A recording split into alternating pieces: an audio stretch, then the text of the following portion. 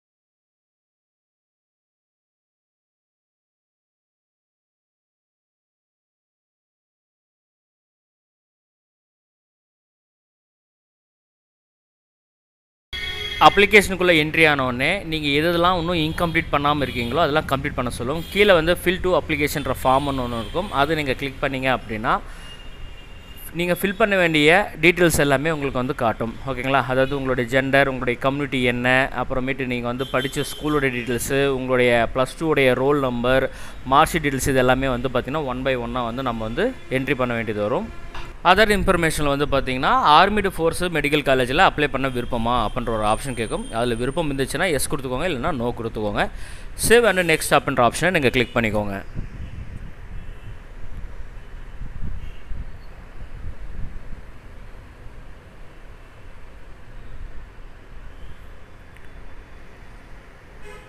Submit பண்ணுவான்னு S கேட்கும் S கொடுத்துக்கோங்க.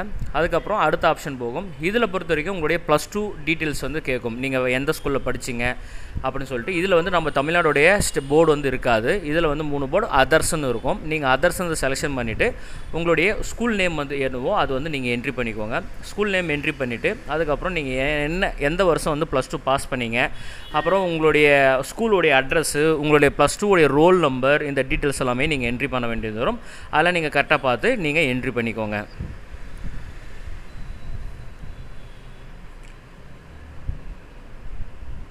ஃபஸ்ட்டு வந்து நீங்கள் ஸ்கூலுடைய பேர் டைப் பண்ணிவிட்டு தமிழ்நாடு போர்டு அப்படின்னு சொல்லிக்கோங்க. இல்லை தமிழ்நாடுன்னு கூட நீங்கள் கிளிக் பண்ணிக்கலாம். ஒன்றும் தப்பு இல்லை. அடுத்ததாக வந்து பார்த்தீங்கன்னா இயர் ஆஃப் பாசிங் எந்த வருஷம் நீங்கள் பாஸ் பண்ணீங்களோ அந்த இயரை வந்து பார்த்தீங்கன்னா நீங்கள் மென்ஷன் பண்ணணும். அதுக்கப்புறம் வந்து ஸ்கூலோடைய address school name with address option option கீழே இருக்குது பார்த்தீங்களா? அது நீங்கள் மென்ஷன் பண்ணிக்கோங்க. ஃபுல்லாக வந்து மென்ஷன் பண்ணிக்கோங்க. அதுக்கப்புறம் உங்களுடைய ப்ளஸ் டூ மார்க் ஷீட்டில் இருக்கிற ரோல் நம்பர் வந்து என்ட்ரி பண்ணுங்கள் என்ட்ரி பண்ணிவிட்டு பர்சன்டேஜ் எவ்வளோ அப்படின்னு சொல்லி அப்படின்னு கேட்கும் ஓகேங்களா? டுவெல்த் வந்து பாஸா இல்லையான ஆப்ஷன் கேட்கும் அது நீங்கள் என்ட்ரி பண்ணிக்கோங்க. தெளிவாக கே படித்து பார்த்து நீங்கள் என்ட்ரி பண்ணாலே போதும். ரொம்ப சிம்பிளான கொஷின்ஸ் தான் வந்து பார்த்திங்கன்னா அதில் கேட்டிருக்காங்க. ரொம்ப நம்ம வந்து டி டிஃபிகல்ட்டாக இருக்கிறதுலாம் நம்ம வந்து கேட்கல அப்புறம் ப்ளஸ் டூ வந்து எந்த மாநிலத்தில் நீங்கள் பாஸ் பண்ணீங்க அப்படின்ற ஆப்ஷன் கேட்கும் அது தமிழோட செலெக்ஷன் பண்ணிக்கோங்க. அடுத்து ஸ்கூல் நேமு அப்புறம் அட்ரஸ்ஸு ஸ்கூலோடைய அட்ரஸ்ஸு இது என்ட்ரி பண்ணிக்கோங்க. என்ட்ரி பண்ணிவிட்டு கீழே வந்து பார்த்தீங்கன்னா ஃபிசிக்ஸு கெமிஸ்ட்ரி பயாலஜி இந்த இதோட இது வந்து பார்த்தீங்கன்னா உங்களுக்கு வந்து மார்க் வந்து கேட்கும். மேக்ஸிமம் மார்க் எவ்வளோ நீங்கள் எவ்வளோ மார்க் எடுத்திருக்கீங்க? அப்படின்ற ஆப்ஷன் கேட்கும். அது நீங்கள் தெளிவாக என்ட்ரி பண்ணிக்கோங்க.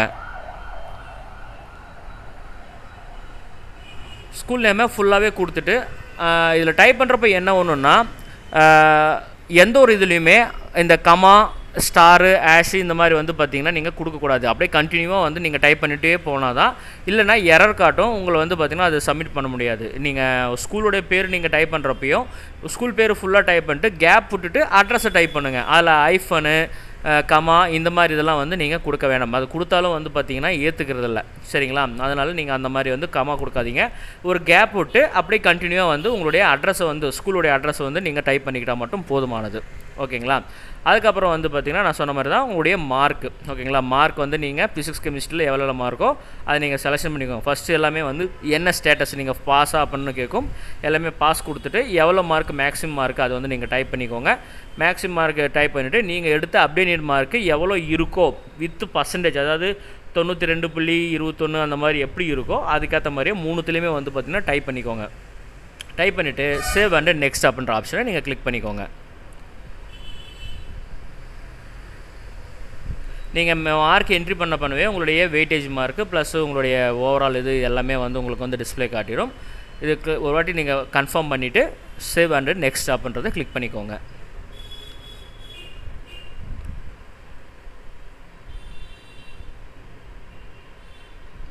அடுத்ததாக வந்து பார்த்திங்கன்னா உங்களுக்கு வந்து ஆல் இந்தியா கோட்டா இந்த மாதிரி கோட்டாஸ் எல்லாம் வந்து ஓப்பன் ஆகும். டீம்டு யூனிவர்சிட்டி அப்புறமேட்டு ஜிக்மர் இந்த மாதிரி தனியார் வந்து ஓப்பனில் இருக்கு இல்லையா? அது மாதிரி இருக்கும்.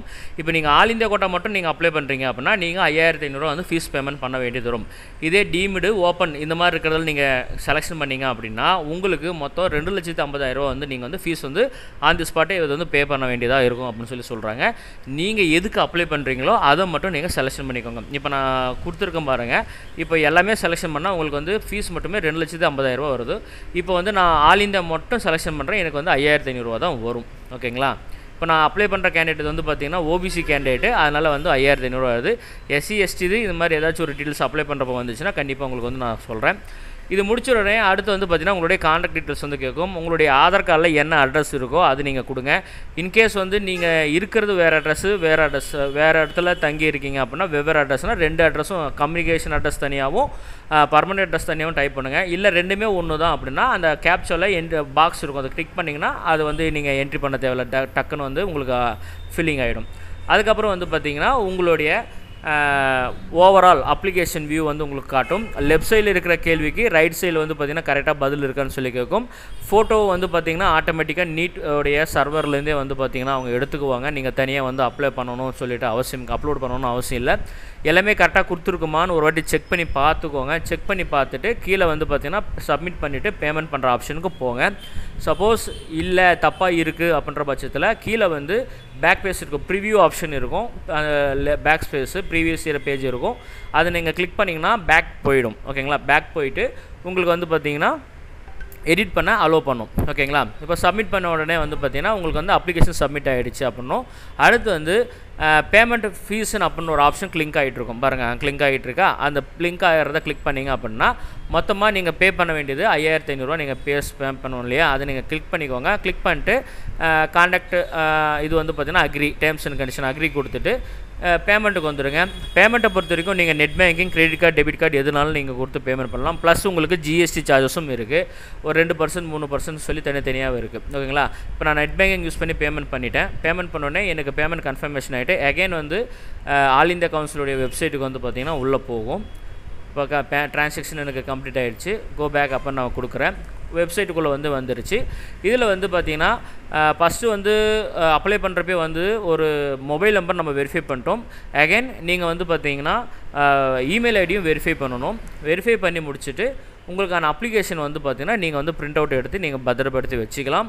உங்களுக்கான கவுன்சிலிங் டைமில் வந்து பார்த்தீங்கன்னா நீங்கள் வந்து கவுன்சிலிங் அட்டன் பண்ணிட்டு உங்களுக்கான சாய்ஸ் ஃபில்லிங் வந்து நீங்கள் பண்ணிக்கணும். ஓகே ஃப்ரெண்ட்ஸ் இது வீடியோ இதோட முடியுது. இந்த வீடியோவில் ஏதாச்சும் உங்களுக்கு டவுட் இருக்கும் பட்சத்தில் கீழே கமெண்ட் பாக்ஸில் கமெண்ட் பண்ணுங்கள் அப்படி இல்லைனா வாட்ஸ்அப் நம்பர் கொடுத்துருக்கேன். வாட்ஸ்அப்புக்கு மெசேஜ் பண்ணுங்கள் கண்டிப்பாக உங்களுக்கு நான் ரிப்ளை பண்ணுறேன் மீண்டும் வேறு வீடியோவில் சந்திக்கிறேன். நன்றி வணக்கம்.